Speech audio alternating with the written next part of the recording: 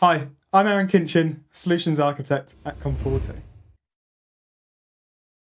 PCI DSS is an information security standard designed to govern and reduce payment card fraud and also increase the security controls in cardholder environments. It applies to any organization that processes credit or debit card transactions. It's also governed by the PCI Security Standards Council. PCI DSS version 3.2.1 has been in effect since May 2018.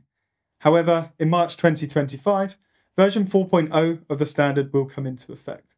So, what are the main challenges between the old and the new standard that's coming into play? Well, firstly, organizations must align their security practices against the evolving threats that we have been seeing in cybersecurity today. They must also make PCI DSS compliance a continuous process rather than a point in time process as it has been in the past. So, what does non compliance look like for organizations? Well, organizations that fail to comply face potentially severe fines for their organization. Often, non compliance is what prompts an investigation into the compliance of your PCI DSS standard. Penalties are calculated based on how long it takes to fix the data breach. For example, if it takes up to three months to fix the data breach, then you could be in line for fines of around $10,000 per month. If it takes between three and six months to fix the data breach, then you could then be in line of fines of up to $50,000 per month. And lastly, if it takes over seven months to fix the data breach in, que- in question, then you could be in line for fines of up to $100,000 per month. Now, the fines that we've stated here do not amount to the indirect costs that your organisation could be leading towards.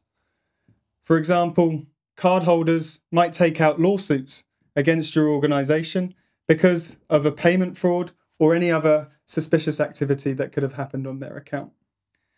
You've also got reputational damage, so you could prevent new customers from signing up to your organization. Lastly, you have business disruption and other regulatory fines that could come into play that is going to increase the costs from a single data breach against your organization. So, what can organizations do to limit the exposure and reduce the impact of a data breach?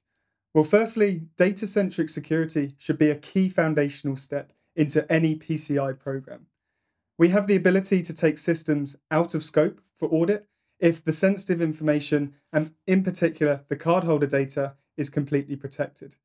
This can streamline your processes to comply with different regulations, not only PCI DSS, but also enables you to work with that information in payment systems or fraud and detection systems that you might be using throughout the organization.